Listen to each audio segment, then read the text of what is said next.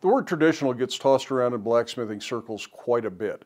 But what does that really mean? Well, when it comes right down to it, most of us are going to have our own take on what is and isn't traditional and whether or not that's even important in life. Some people use it to justify their own approach to blacksmithing or to condemn somebody else's approach to blacksmithing because they disagree with the way they define the word traditional.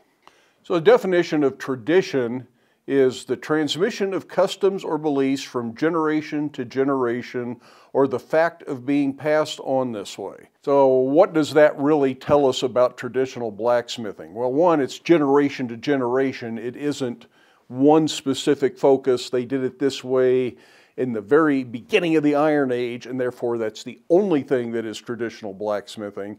It's things that have evolved from that point to the present day are all part of the current tradition of blacksmithing.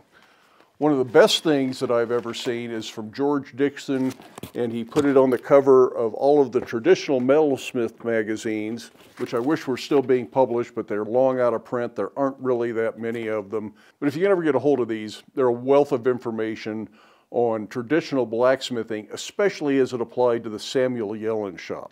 But his statement is blacksmithing is not defined by time period or motif.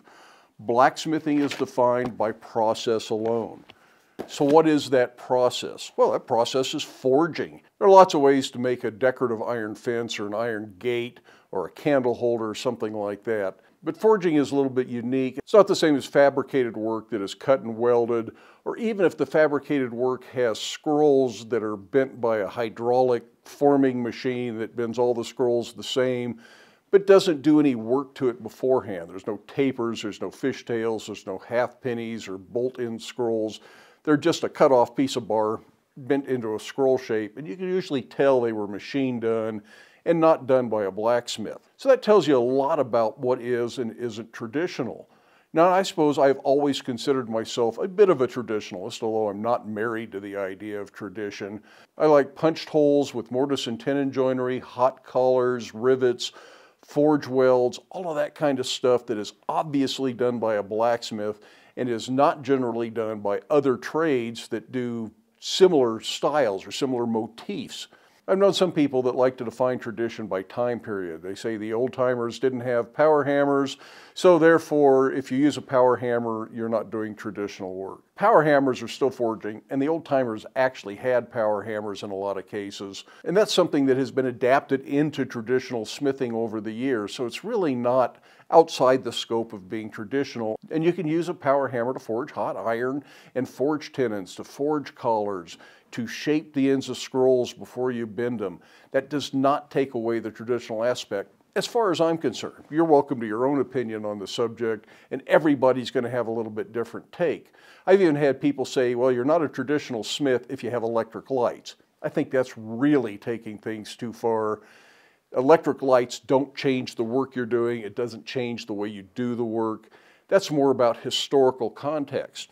And if that's what you're interested in is historical recreation, I want to create the same kind of work under the same conditions in the same environment as this group of people at a particular time and in a particular place. If it's historical, you don't get to do the work that was being done all over planet Earth at that time.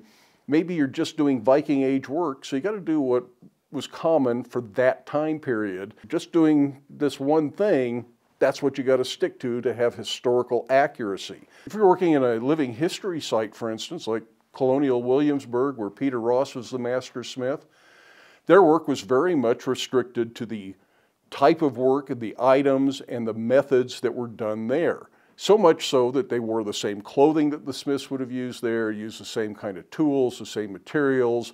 That meant no safety glasses, no hearing protection, because that was not historically accurate. And yes, that work fits the traditional definition because the process is defining the work.